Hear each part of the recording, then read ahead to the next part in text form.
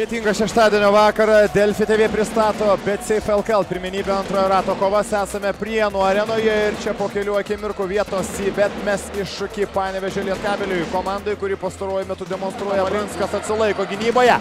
Želko Šakyčius greičiu įveikia Birutį ir įsirašo pirmosius taškus. Dimša priekyje. Jutkevičiui laisvas koridorius, puikiai Lietkabelis žaidžia kontratakoje 4. Minetas. Kašaludžiobė. Antrasis jo bandymas pataiko Regimantas Miniotas. Antras. Reikia pražangos.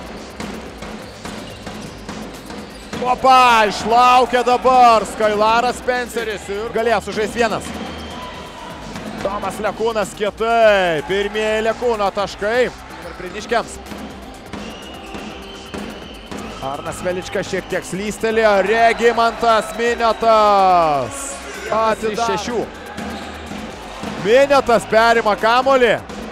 Iš eilutės ar Martynas Varnas 5-0 atsakomoje atkarpė. Femelų džiobė. Jo kietas reidas iki galo. Femelų džiobė atsidaro iš baudos. Geras Krisa buvo atsidūręs ant grindų. Veličkos skubotas, taiklus metimas. Priekaištauja dabar Valinskas. Iš toli galėjo atakuoti dabar. Lipkevičius pro šalį. Valinskas įveikia Arną Veličką.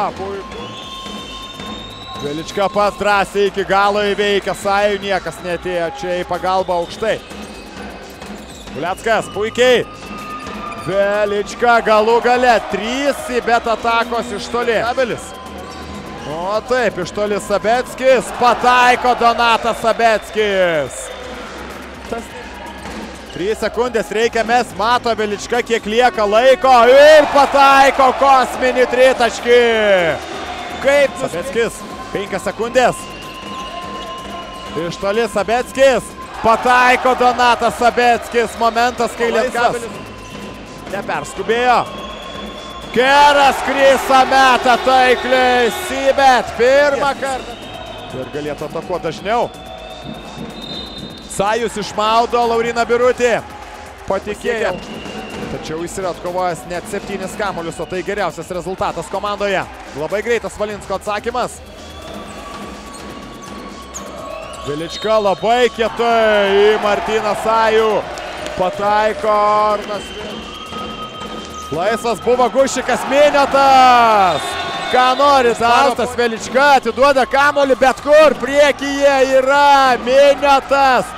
Pasiseka, pasiseka Sibė. Valinskas. Dar kartą užsirauna dabar ant Gušiko, Uleckas.